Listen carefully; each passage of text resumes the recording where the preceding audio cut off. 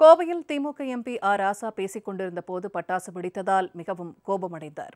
இந்து மதம் மற்றும் இந்து மக்களை அவதூறாக பேசியதாக திமுக துணை பொதுச் செயலாளர் ஆர் ராசாவை கண்டித்து தமிழகத்தில் பல்வேறு இடங்களில் பாஜக இந்து முன்னணி உள்ளிட்ட அமைப்புகள் போராட்டங்களில் ஈடுபட்டன. இதனால் கடந்த முறை ஆர் ராசாவின் கோவை பயணம் ஒத்திவைக்கப்பட்டது. இந்நிலையில் சென்னையிலிருந்து கோவைக்கு விமானம் மூலம் வந்த ஆர் ராசா அங்கிருந்து மேட்டுப்பாளையம் சென்றார். பின்னர் நடைபெற்ற கூட்டத்தில் ஆ ராசா பேசிக் கொண்டிருந்த போது பட்டாசுகள் வெடிக்கப்பட்டன. இதனால் ஒரு கட்டத்தில் மிகவும் டென்ஷனான ராசா தனக்கு வேண்டாத ஒருத்தரே இதுபோன்று செய்வதாக கூறினார்.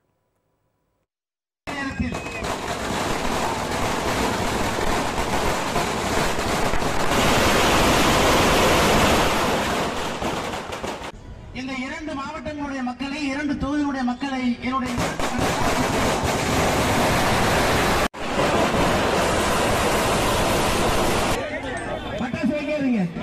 ನಮ್ಮ ಯಾರು ಯಾರು